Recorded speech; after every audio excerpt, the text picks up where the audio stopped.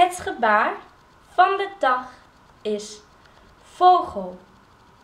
Kijk, hou je handen zo en klapper ze dan op en neer, net als een vogel. Vogel,